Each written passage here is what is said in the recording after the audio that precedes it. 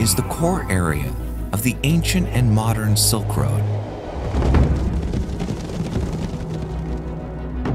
The vast and rich geographical environment, variegated cultural traditions, and diverse lifestyle settled on this ancient piece of land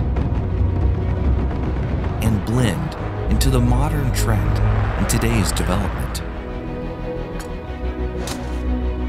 Xinjiang cuisine has a wide variety and distinctive style. We will follow the three lines of the Silk Road south, center, and north lines to experience the unique Xinjiang cuisine. Hotan is an important town on the south line of the ancient Silk Road. The unique natural environment makes Hotan people develop the cooking method of roasting to the fullest. Baked buns is a common delicacy all over Xinjiang, but Hotan's baked buns are unique. Hotan's baked buns are sturdy, with selected fresh mutton as the filling, and every process of making them is meticulous. With fire burning under the pit, a large amount of salt water is whisked into it, which is then turned into steam with heat. After the bun stuffing is steamed, the thick cloth is opened and the temperature is adjusted to bake the skin. Freshly baked buns are crispy on the outside and tender on the inside, a full aroma emitted from the meat. Another Hotan food, roasted whole lamb, retains the most original baking techniques. Each pit can roast up to seven or eight sheep at a time.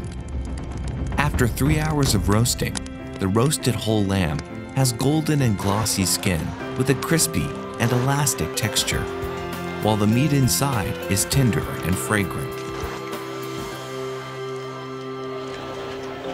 If you want to pick a place where you can eat authentic and rich Xinjiang cuisine, Hotan Night Market must not be missed. The most unique snack here is the baked egg. Eggs are slowly roasted in charcoal ash. After adding some cumin, salt, or even honey, it absorbs various flavors and maintains its nutritiousness. The roasted pigeon in watermelon is not to be missed. The aroma of the pigeon meat mixed with the sweetness of the watermelon gives it a different flavor. There are also hot fried chopped entrails of sheep, smoked lamb skewers, sweet and crisp sesame candy, and refreshing and delicious glutinous rice dumplings with yogurt. Behind the dizzying delicacies, it is people's yearning for a better life. Tashkurgan County is the county with the highest altitude in Xinjiang. Tajiks living here often make a traditional food called kati lamar. Making kati lamar requires to roll out fermented dough into thin pancakes, then spread it with a thick layer of sour cream. After roasting, it is crunchy and sweet in each layer, which is an ideal supply for the long ancient Silk Road. The late autumn on the plateau has come.